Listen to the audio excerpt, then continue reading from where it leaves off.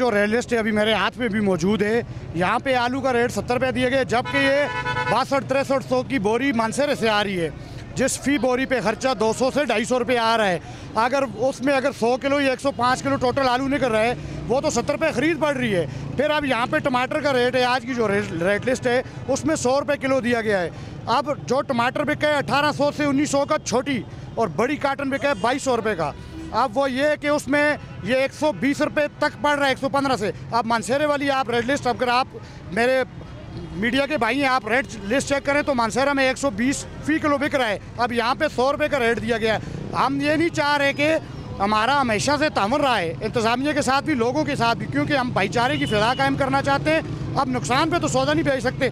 अब जिस तरह ये रेडी बान या गरीब टोकरे वाले हैं तो ये शाम को अगर इस तरह इनको रेट लिस्ट मिलेगी, अगर ये रेट लिस्टों पे ये सौदा बेचेंगे तो शाम को ये उल्टा नुकसान करेंगे व्यापारी के पैसे भी पूरे नहीं होते। और इंतज़ामिया से हम रिक्वेस्ट करते हैं बारह दफ़ा बता चुके हैं कि काइंडली वो मनसेरे और पिंडी वाली रेड लिस्ट दे के रेट ना दें।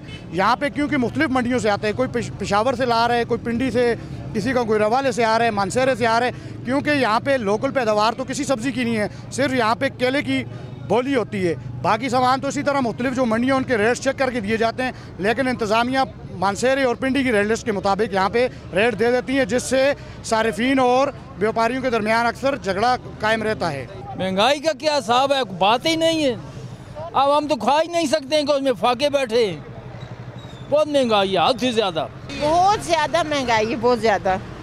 क्योंकि जो रेट लिस्ट आती है ना उससे ज़्यादा है ये। तो इसलिए इंतज़ामिया से कहें कुछ थोड़ी बेहतरी करें हमारे लिए।